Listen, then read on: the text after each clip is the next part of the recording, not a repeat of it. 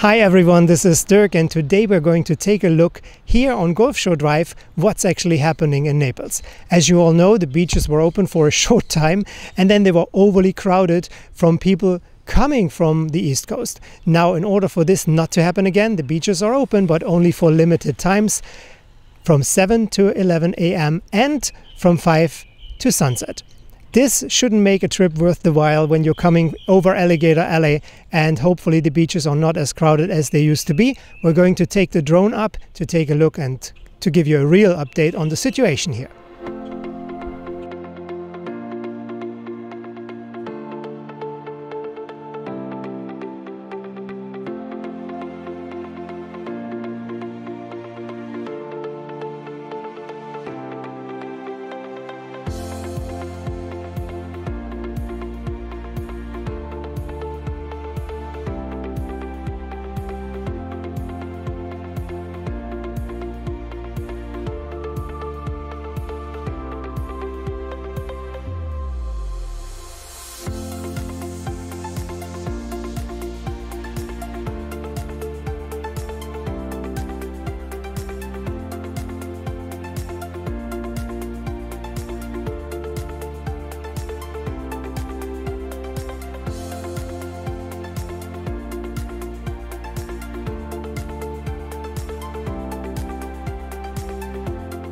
Everyone has to leave the beach by 11 am. The sheriffs are here to enforce that and to find people who are violating this rule.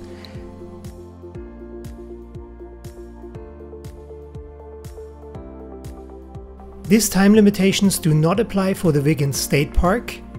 The park is open all day, but it works at capacity, and the limitation here is 25%.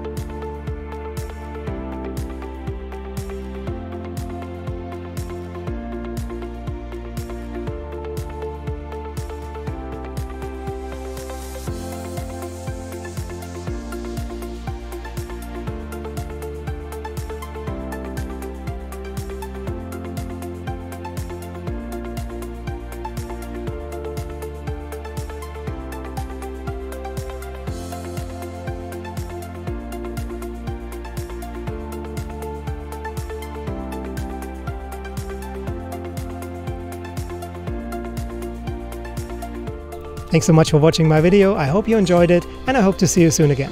Bye for now.